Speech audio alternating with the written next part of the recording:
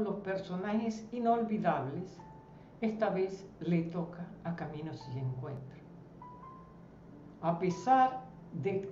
Esta vez no va a ser un personaje principal, esta vez es el personaje de Brígida, una anciana que vivía de la caridad pública, una anciana que no tenía nada que ofrecer, una anciana que no tenía nada que dar, pero ofrecía sus manos vacías para que todos nosotros tuviéramos el privilegio de dar.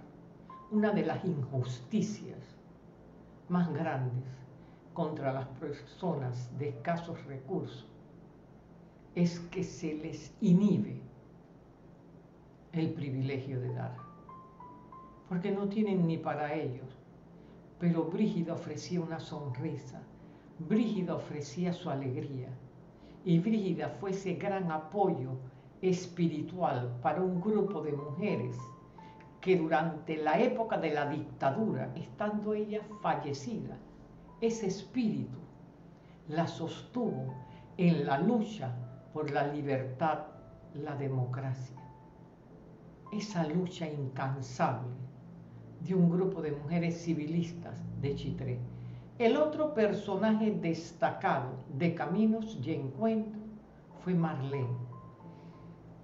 Desmitificó los métodos esotéricos para adelantarse a los ataques de la dictadura y llegó a predecir eventos importantes como la quema de Dante,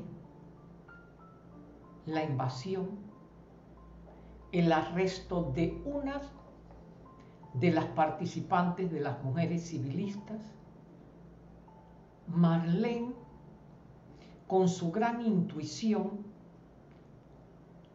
la utilizó para que todos esos supersticiosos les tuvieran miedo, ese grupo de mujeres que se reunían, conocidas como las brujas de Cantarrana.